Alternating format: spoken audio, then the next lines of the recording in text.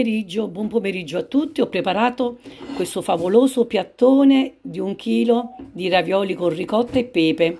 Il pomodoro oggi è pronto, adesso li versiamo e li prepariamo. Ecco pronti i ravioli con pomodoro, parmigiano e basilico.